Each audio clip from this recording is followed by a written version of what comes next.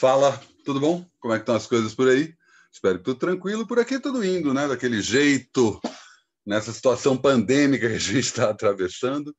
Eu sou Alexandre Matias, esse é mais um Climatias. Todo dia aqui vou comentando esse 2020/2021 que a gente vem atravessando aí desde março do ano passado. Também dando dicas de discos, filmes, livros, séries, que é o caso hoje eu vou falar de um disco, melhor disco de 2021 até agora, e também terei um convidado para fazer. Será que é uma regra? Será que eu vou fazer isso toda semana? E o convidado também tem uma história aí que eu vou contar sobre esse convidado. Alguns de vocês já conhecem, né? Mas vamos lá. Se você está chegando agora, assina o meu canal e aperta o sininho. Todo dia tem pelo menos dois vídeos aqui, o Climatias e um segundo vídeo. E esse segundo vídeo são programas semanais ou quinzenais que eu faço por aqui. Vou contar qual o programa que eu abri hoje. Se você já assinou o meu canal e apertou o sininho, já sabe qual é. E vou falar qual é o programa que eu abro amanhã. Lembrando que, além do, de pedir para assinar, apertar o sininho e também curtir o vídeo, né? Caso você curta, né? Ajuda a espalhar comenta aí também se ouviu disso que a gente vai falar é, eu também estou no Apoia-se, então se você está gostando desse meu trabalho aqui, peço-lhe que encarecidamente possa contribuir com a minha renda no apoia.se barra trabalho sujo, que todo sábado ou domingo, dependendo da categoria que você escolher, você recebe aí uma lista com toda a programação desses programas semanais ou quinzenais que eu faço. Então, sábado ou domingo você tem ali toda a programação até a semana seguinte, tirando o Climatiza, esse que eu gravo com diariamente, né? Esse aí não dá para antecipar.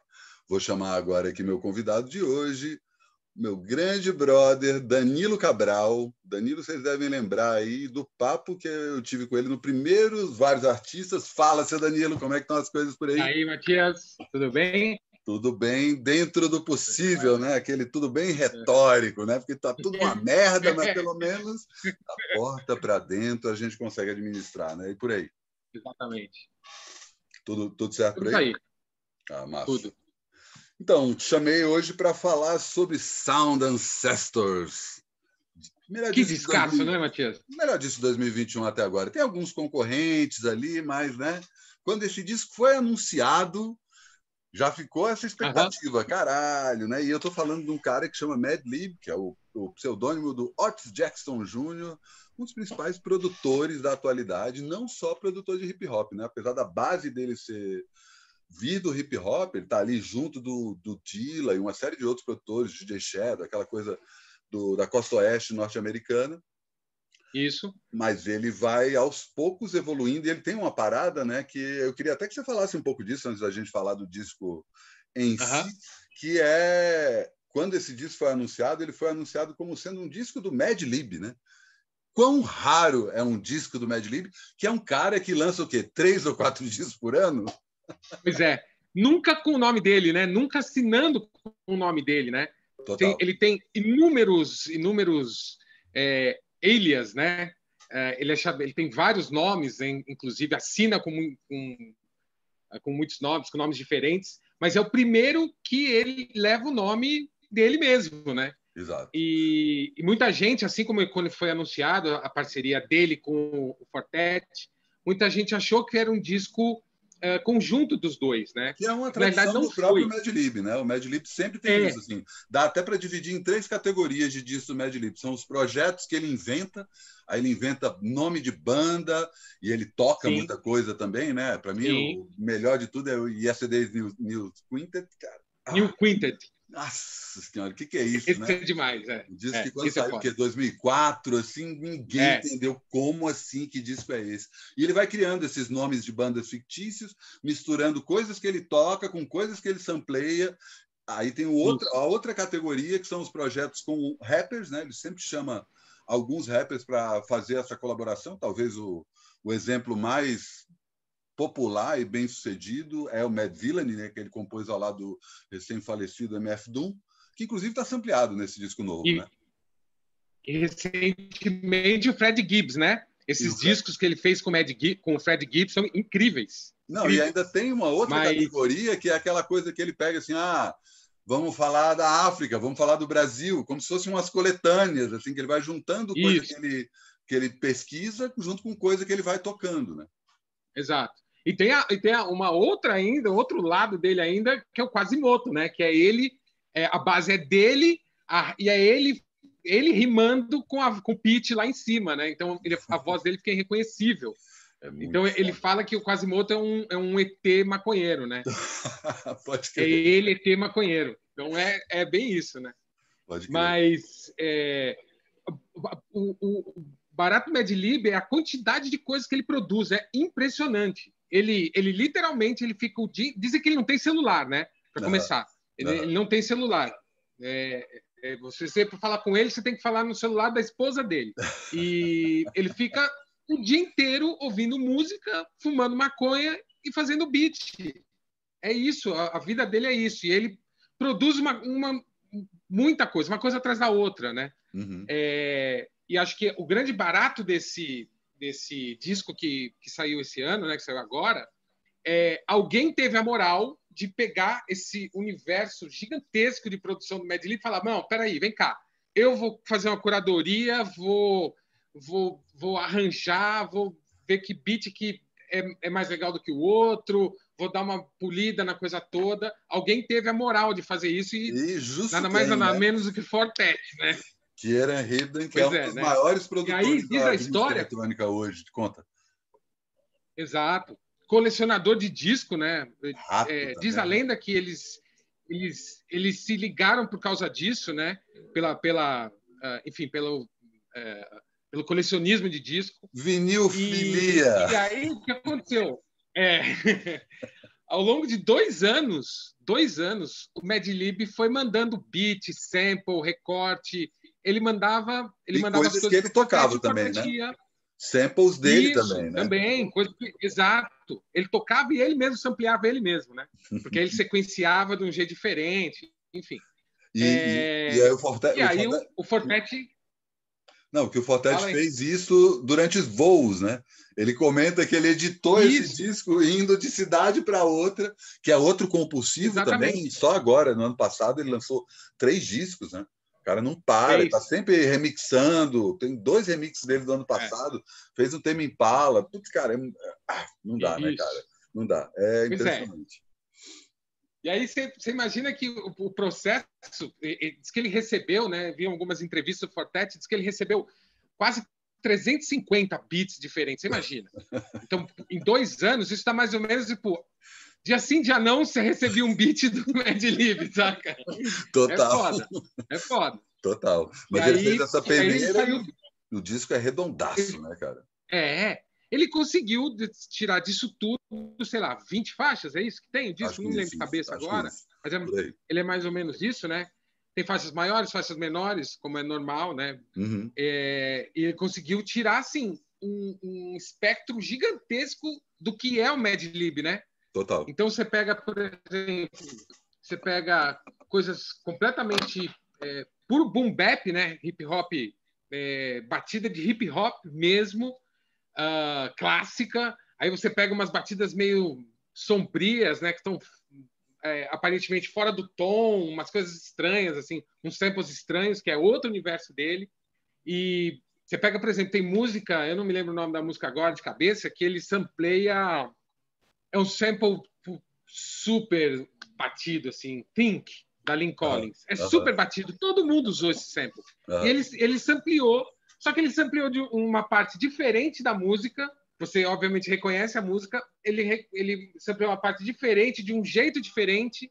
Então, ou seja, ele pega uma coisa que é super comum, que todo mundo usa, que é a música da Lynn Collins, e passa e, e, e, cria uma música que ninguém criou até então, sabe? Total. Eu acho que esse é o tipo de gênio do Mad Lib. E essa, é, e essa, usar as mesmas coisas, mas de um jeito diferente. Essa descrição que você fez é, ela é muito precisa, porque é, e é justamente por isso que eu estou trazendo esse disco aqui. Não, não é sempre que eu, que eu comento disso do Mad Lib, porque né, o cara não para de lançar coisa. Né? Então para. não é uma coisa tipo, ah, se eu for, tem que criar ali uma editoria Mad Lib para conseguir acompanhar é. o cara.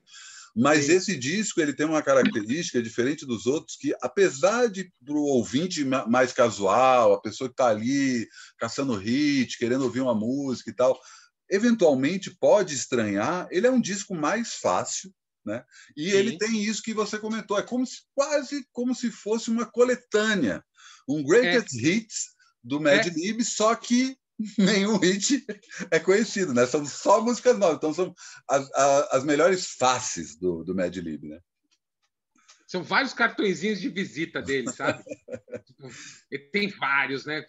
Pela quantidade de facetas que ele tem, exatamente por isso, né? E aí é... o, o Fortet fez essa, esse pente fino e apresenta muito bem. Então, eu estou recomendando esse disco aqui não só como um grande disco do ano, mas também como uma porta de entrada para o trabalho do Mad Lib, até para entender esse outro tipo de produção, porque a gente trabalha com essa coisa, ah, o produtor está num lugar ali entre o Quincy Jones, o George Martin, o Butch Vig, que é o cara que pega ali o artista e dá aquela encorpada no som, e na paralela você tem o produtor de hip hop, que é o cara que faz beat, que fica também encorpando Isso. o som, trabalha com MC e tal, mas aparentemente são dois trabalhos diferentes, né? Não, apesar do nome ser o mesmo, né? Parece ah, um está mais no estúdio e o outro está mais ali no no, nos, nos vinis, ou mesmo usando uhum. equipamento eletrônico, e o MedLib é a fusão desses dois trabalhos, né? não só. Né? Aí você tem toda uma geração de produtores que se encaixam nisso, né? isso não é de hoje. Pelo menos uns 30 anos, você vai pegar o Dr. Dre, Sim. é exatamente isso, né? o cara está nesse mesmo lugar. Mas ele tem e essa você coisa... soma tudo isso, e a tudo isso que você falou, você soma mais um cara que é também é tudo isso que você falou, que é o Fortet.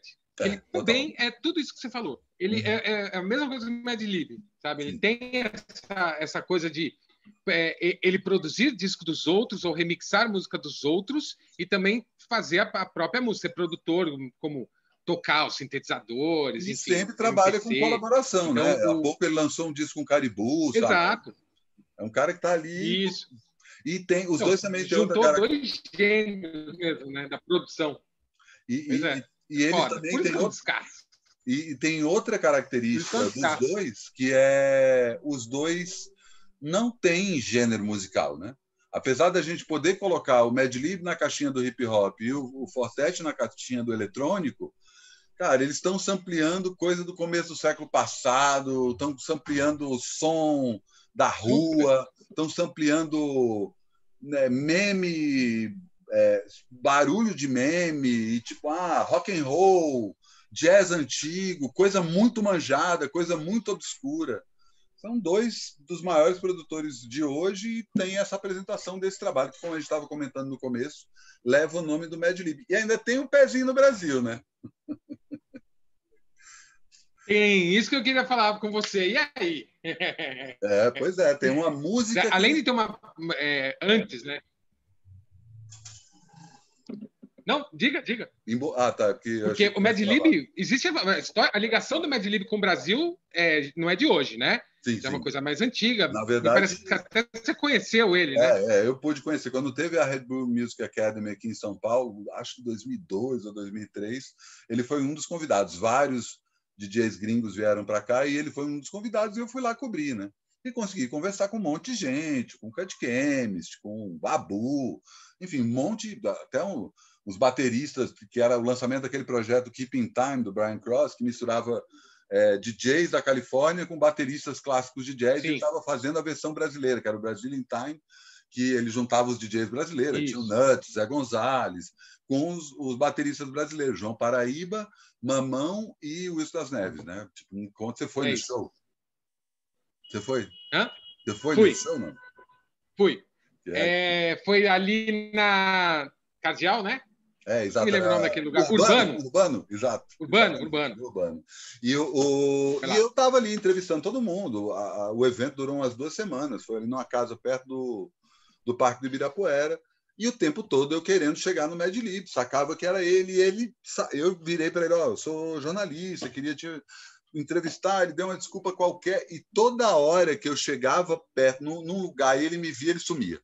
Caralho, lá vem aquele cara me entrevistar de novo. Aí teve uma hora que eu subi uma escada, ele estava encostado assim, eu falei, bicho, vamos conversar? Eu não vou gravar, eu não vou dar entrevista, não, tá bom? Aí a gente conversou e tal, ele falou, beleza, a gente ficou falando de música, de música brasileira, que ele já conhecia faz tempo e tal. No Sim. fim, até, aí eu cheguei, cara, é isso, eu não vou contar, não vou ficar enchendo teu saco aqui. Ele sacou que eu não estava ali só para... Entrevistei o Mad Lib, e aí ele topou, beleza, pode falar aí, mas também não, põe, não me põe falando muito como se eu fosse uma pessoa muito falante. E ele realmente, ele não é muito falante, ele é muito na dele, e à medida que eu ia cutucando, ele ia soltando, aí, sei lá, 15 minutos de, de conversa, ele já estava conversando numa boa.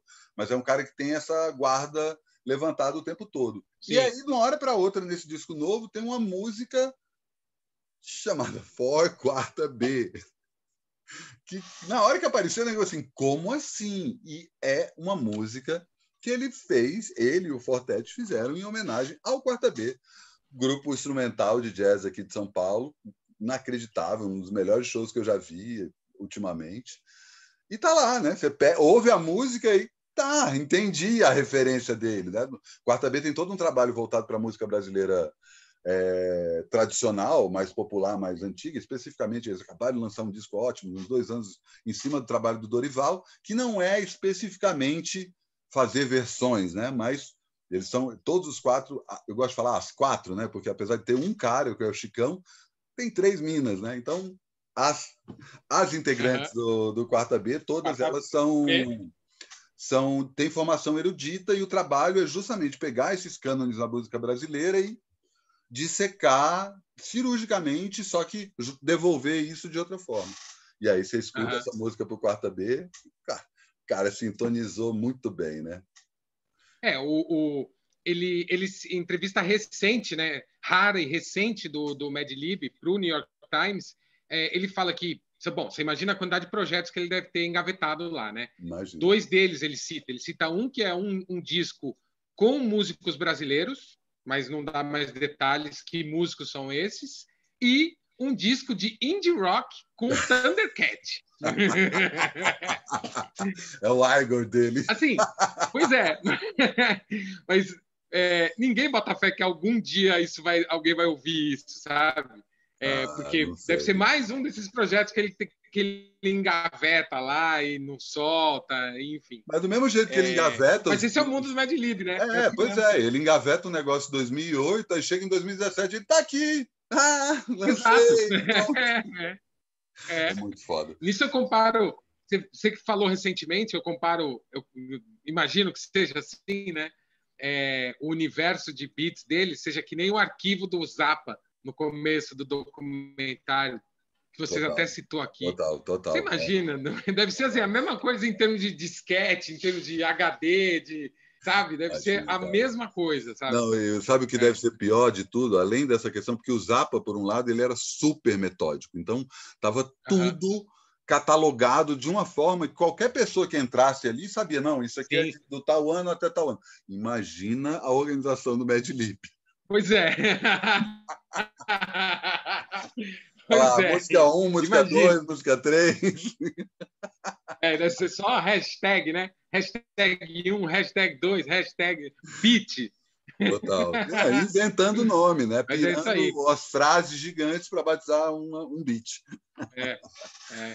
E, Danilo, eu ia falar assim, porque eu estou fazendo agora, chamando é, colaboradores, correspondentes, por assim dizer, aqui no Climatias, né, para não Sim. fazer o Climatias sozinho, e até então eu só chamei pessoas que têm programas comigo, né, que estão aqui no meu canal com alguma frequência. Você veio já como convidado da primeira fase do Climatias, logo ali no começo da pandemia, acho que abril, Isso. maio ainda participou do primeiro Vários Artistas, que é o programa que eu tenho sobre é, para conversar sobre música, junto com o Luiz Patori. Danilo, para quem não sabe, faz as noites de trabalho sujo comigo, que esse ano completam 10 anos, né? Como é que a gente vai comemorar isso, eu não sei, mas já dá para dar um, um teaser aí que a partir de sábado temos um novo programa aqui com a presença do Danilo Cabral e não só dele. Eu só deixar no ar isso aí e, pô. Foi divertidíssimo fazer. E vamos, e vamos lá, né? Danilo, queria agradecer aí a tua participação, sempre um prazer falar contigo. Sábado eu anuncio aí e, pô, aumenta o som desse Mad Lib, né? Vamos Valeu, em frente, velho. bicho. Abraço, fica bem aí. Valeu, Matheus. Até já. É isso. Sábado tem programa novo. Um programa que vai alternar justamente com vários artistas. Vai saber. então é isso. Antes de encerrar o Climatias, lembrando que hoje mais cedo eu abri mais um Rádio Trabalho Sujo, segundo programa, também está no Dublab. E aí a diferença é, o Rádio Trabalho Sujo é um programa que eu gravo aqui para o meu canal no YouTube, a versão bruta. Então, eu vou lá, preparo o material e leio de uma vez. No DubLab, se você tem alguma rádio online, ou mesmo uma rádio queira negociar isso, entre em contato, porque a minha ideia é espalhar isso pelas ondas do rádio do Brasil essa versão que tem só em áudio, além de ter o, o, meu áudio editado, né, eu tiro todos é, a, um, e eventualmente eu conserto alguns eventuais é, esquecimentos e tal, mas um outro eu acabo deixando. Eu também tenho música, então dá para você ouvir não só as músicas que eu é, faço referência, no caso do, do New Order, como também tem música durante a minha narração, que não pode fazer aqui no YouTube. Quer dizer, poder eu posso, mas com o risco de gongarem o programa daqui. Esse programa já está no ar. Se você assinou o meu, meu canal e apertou o sininho, está lá. E amanhã, quinta-feira, dia de falar de jornalismo e música, jornalismo arte.